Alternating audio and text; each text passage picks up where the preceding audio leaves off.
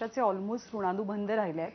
आत्ताची परिस्थिती पाहून अ, काय वाटतं? म्हणजे आदित्य ठाकरेंनी ट्विट केलेलं मोह मोह के धागे.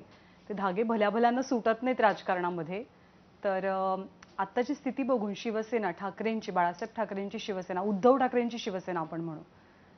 तुम्हाला मला त्यांची असं चिंता वाटतं की- वाटते? नाही मला एकनाथ शिंदे ज्या पद्धतीने काम करतायत दौरे करतात कुठे जातात लोकांना भेटतायत त्याच्यामुळे लोकांना एक चांगला दिलासा मिळतो आहे असं वाटतं मला त्याच्यामध्ये.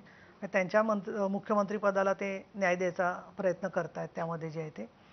दुसरं आता या ज्या नवीन डेव्हलपमेंट झालेले आहेत एन सी पीचे काही लोक इकडे आलेले आहेत त्याच्यामधून अजून काय क्रियाशीलता वाढेल किंवा जिल्ह्यात काय चित्र होईल त्याच्यावर आत्ताच काही भाष्य करता येणार नाही. पण नक्कीच एक आहे की ज्यांना मंत्रीपद किंवा काम करण्याचा अनुभव असणारे जे लोक आहेत म्हटल्यावरती त्याचा एक फायदा लोकांना पण होतच असतो या संदर्भामध्ये.